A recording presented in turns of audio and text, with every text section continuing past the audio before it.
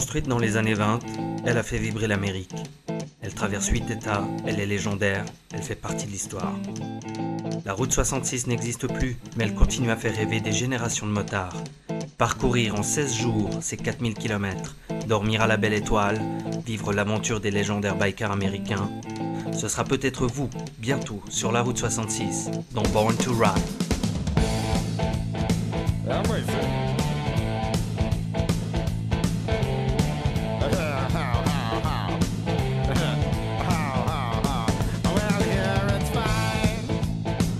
Adiós.